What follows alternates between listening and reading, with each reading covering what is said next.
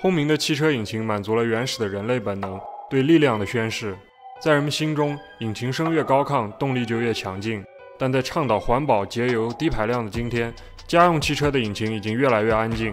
为了让客户重燃激情，各家汽车厂商给出了新时代的引擎声播放方案。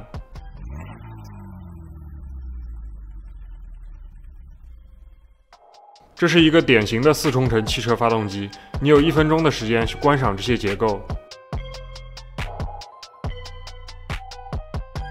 其实没有，最重要的是这里：进气气管、火花塞、活塞、排气气管。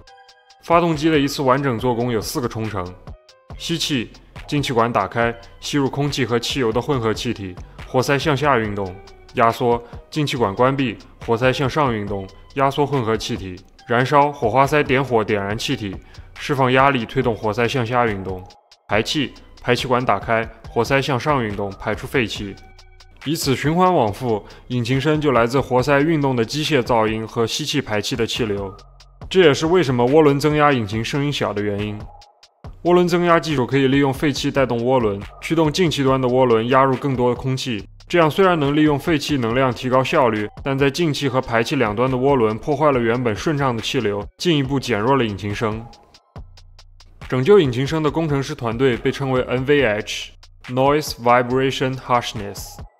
通常有三种方案：排气泄压阀、声浪传导和电子声浪模拟。排气泄压阀是一个位于排气气管后涡轮增压器之前的旁路阀门，由机械或电子控制阀门的开合。当阀门打开后，废气将不经过涡轮，发出更加嘹亮的排气声浪。声浪传导的目的则是将发动机的声浪尽可能透过车身传导到驾驶室内。保时捷和福特等厂商用一根声浪导管将进气气管和驾驶室直接相连，以使驾驶室中的声浪更加响亮。福特的福克斯 ST 还在导管内安装了拨片，用于放大二百到四百五十赫兹的低音。相比机械手段，动用车载音响是最直接的方案。汽车模拟引擎声的技术与赛车游戏类似，主要是根据录制得到的声音制作声学模型。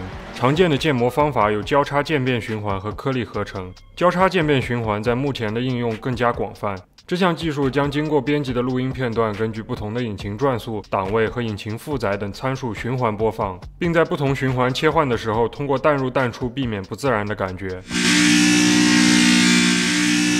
另一种新型的技术是颗粒合成。首先把声音切分成以毫秒为单位的片段，然后根据当前参数对这些片段进行重复和组合，这样就能模拟出自然的引擎声。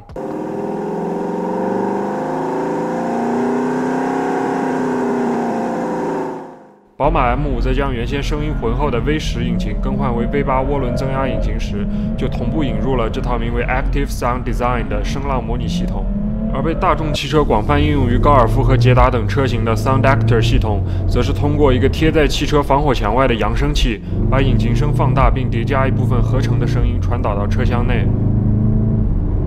模拟的声音也会带给人幻觉，让高尔夫车主也有十足的底气和法拉利在路上飙车。法拉利也不过如此嘛。两百八。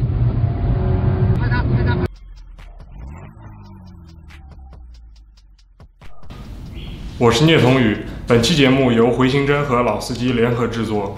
如果你喜欢本期节目，欢迎转发支持我们。你可以在微博、微信、知乎、B 站搜索“回形针 Paperclip” 关注我们。我们下期节目见。